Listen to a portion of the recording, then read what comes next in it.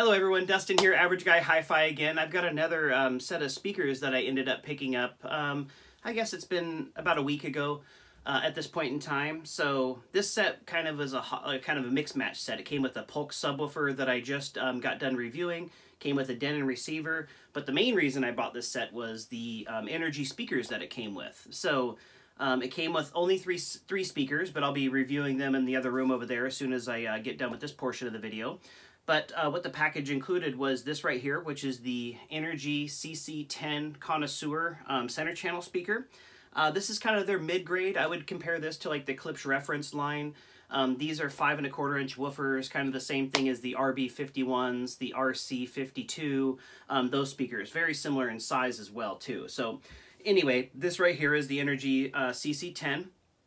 It comes with uh, two five and a quarter inch um, ribbed woofers. I know it sounds funny, but it has actually little ribs in the uh, surround, and what Energy says is that actually helps with the excursion of the woofers um, during demanding scenes. Uh, they also have a one-inch aluminum dome tweeter. Um, the cabinets, I'll kind of show you a close-up here of the bookshelf because it's a little bit lighter. The cabinets are rear ported, so keep that in mind for you guys putting these things in um, into like theater cabinets, things like that. But I'll give you guys a close-up here so you can kind of see but it has a really nice kind of gloss finish here. This right here is the CB10 bookshelf speaker, and right there you can kind of see the, the ribs and the, the rubber surround there. Um, nice looking cabinets. Again, they're rear ported there. Um, has the binding posts. So uh, this set of speakers is ones that I've never tested either. Um, I've had a bunch of energy speakers over the years, but I've never had the connoisseur line. So I'm going to um, get these things in there, put into place. I'll get them all tuned to my Denon receiver. I'm going to run them with no subwoofer. Um, just so you guys can see the excursion and also hear how they sound. I do have a review coming up as well too of a Velodyne Mini V subwoofer that I grabbed a couple days ago. So I've been very busy. So got to keep these reviews going. So stay tuned. I'm going to hop over there in the other room and I'll show you these speakers in action. All right, everyone, just got done setting them all up, putting them in place. Um, and then we put on Interstellar here. I just put it on a scene. This is going to be the rocket ship when he's blasting off, um, leaving his family behind. This movie's very good uh, for testing your home theater gear. Again, these are the type of movies I'm going to be showing you on my channel uh, most of the time, just so you can see the excursion, hear the sounds. I know you're hearing them through computer speakers and all that, but it's really just about giving you guys my impressions of these things and then giving you the highlights and kind of the average guy hi-fi score there at the end of the video. So Again, we've got it on a scene here that's got some good bass, um, some good sounds here. So I will play the movie and then we'll just kind of um, go into it and then I'll kind of give you another overview of the speakers here.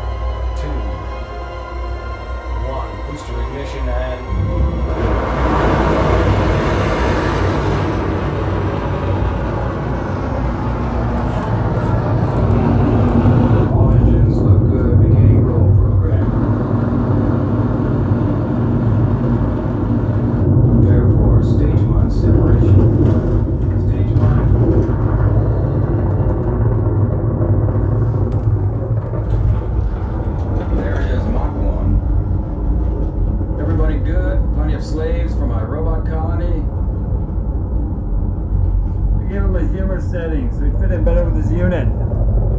Takes and relaxes us. A giant, sarcastic robot. A great idea. I have a cue that I can use when I'm joking, if you like. Yeah, probably help. Yeah, you can use it to find your way back into the ship after I blow you out the airlock. What's your humor setting, TARS? That's 100%. Let's bring it on down to 75, please. Stage 2, separate. All right, guys, I know that uh, a lot of the audio really doesn't come through depending on what you're listening to and all that, but just wanted to show you kind of them in action. But again, a little bit of an overview for the speakers here. Um, these are the Klipsch Energy uh, CB10 bookshelf speakers. They come with a five and a quarter inch um, ribbed rubber surround there. Comes with the uh, one inch aluminum dome tweeter. They, as you can see, there's a little bit of a contrast. I really like this look when it comes to speakers, but the whole front panel is a gloss black with a little bit of energy logo there. And then the rest of the cabinet, it's kind of that wood grain uh, material. So, uh, like I mentioned previously, these are rear ported speakers, so take that into consideration. If you're putting um, the center channel or the bookshelf speakers in cabinets, these might not be the best options, but I can assure you the bass response was very good um, out of these speakers, just kind of the way they're sitting here with a little bit of room to breathe. So, um, the equipment I was using there again is my um, LG OLED C9 65 inch TV. I was using uh, my Denon 3300 AVR, um, running it through an LG 4K Blu-ray player, a Panamax um, M5100 PM surge protector, and then all powering these three speakers is my five-channel um, Marantz amplifier, and this is the MM7055 five-channel amplifier. So, um, again, that's the little video portion where I kind of show you them in action. That is the um, Velodyne Mini V that I'm going to be reviewing here shortly. I already reviewed the SVS subwoofer, the SB1000 that somebody's already bought and taken it home. Loves it, already texted me about it. That is the Polk subwoofer that I just got done reviewing. Somebody's actually on their way right now to come pick that up for me. So I'll put that money back into um, other speakers so I can review them for you guys. So stay tuned here. We're going to hop over in the other room where we um, give you guys the average guy hi-fi score um, on these three energy speakers here. All right, everyone, now we're on to the average guy hi-fi score section of this video. And again, the breakdown is there's five categories. Each category is worth 10 points. The five categories are sound, um, MSRP pricing, the quality of the speaker, the price I paid pricing, and then obviously the aesthetics as well too. Then we average all those out, and then I'll give you guys a percentage, which is the average guy hi-fi score of the speakers. So again, these speakers are the Energy Connoisseur. Uh, this right here is the CB10. These are the bookshelf speakers. Uh, the center channel is the CC10 um, center channel speaker that we were using in there. So um, we'll just kick it right off. Let's start with um, the quality of the speakers. I gave them an 8 out of 10. That's very high when it comes to the average guy hi-fi score. Um, the cabinets are very solid. Um, you can tell that they put some real time and effort into kind of manufacturing these things. Sharp corners that feel really good. The way that they um, they adhered the uh, material, the wood grain material, to the outside. I like the fact that the cabinets have metal posts attached to them instead of plastic pegs going in for the grills because those little plastic pegs always break. So I think this is a much better way of doing it. I still prefer magnets, but that's just another that's just a whole nother category there. I've already mentioned it too many times. So quality, I gave them an 8 out of 10. Very high score there. Um, now we go down to the sound. These things sounded really good in my room. The bass response was very, very good.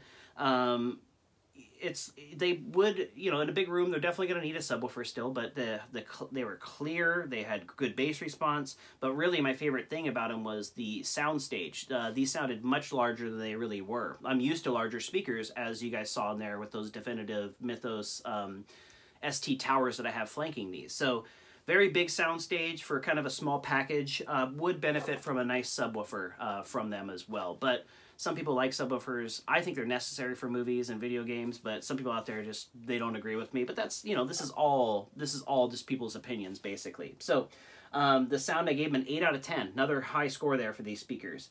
The MSRP rating I gave them a seven point five out of ten. Still a very good score. Um, again, at the time, being able to walk into a store, this set would have cost you roughly $500. Um, the center channel had an MSRP of 199 um, the bookshelf speakers had a MSRP of 269 I believe, for the pair. So um, basically right around $500 out the door for uh, these three speakers. It's a very good deal. So 7.5, another good score there when it comes to the MSRP rating. Um, the aesthetics, I gave them a 9. I love the looks of these speakers. These are kind of getting up there. The only real complaint that I would have, I would say, from a look standpoint, would be that I kind of wish that these kind of followed more with the um, Klipsch RB51s, which would be probably the competition of these speakers at the time. But I like the fact that the, the Klipsch speakers, a lot of the reference line had front ports. And what that did was, this one's a little bit squatty for my look. I like a little bit of a taller bookshelf speaker.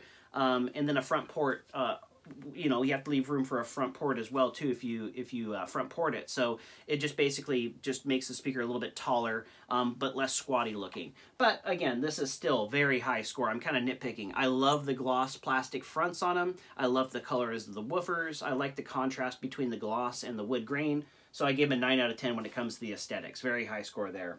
Uh, my price paid value this is where they lacked a little bit. I gave them a six and a half out of 10 Um, and it's just again because I've owned hundreds of speakers that I've got some amazing deals on. So these came with a um, Denon receiver, the Polk subwoofer, and then these three energy speakers. So these were the reason I bought that package because I wanted to test these out. So I'm probably about a hundred hundred dollars into the three of these speakers. So probably not the greatest deal ever, but I'm sure I can get my money back out of them if I'm patient once I list them on OfferUp, Craigslist, and Facebook Marketplace. But that's kind of again a lot of the purpose of this channel is to buy gear at good pricing, try to pass it on at good pricing, so I can review it and everything in the meantime.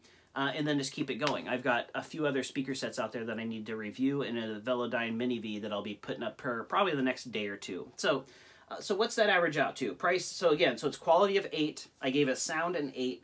I gave the MSRP rating a 7.5. I gave the um, the aesthetics a 9, and I gave the price paid a 6.5. That averages out to an average hi-fi, average guy hi-fi score of 78%. So a very high score. A lot of you are like, well, you know, in the grade area, that's going to be a C, but or a C plus, however you look at it. But again, I'm trying to use more of the scale here because there's a lot of speakers out there that I want to review. So I just want to use um, those five categories and give you guys a real good idea. I'm not just going to inflate numbers just to, you know, make people happy. This is 78%. Um, these are a very solid buy. If you see them on the used marketplace, know that you can get some very good sound out of these. Um, I was running it with a pretty nice amplifier out there, so that also helped. But um, basically, these things sound very good. Definitely keep an eye on the Energy speakers. Again, point of this channel is used audio equipment.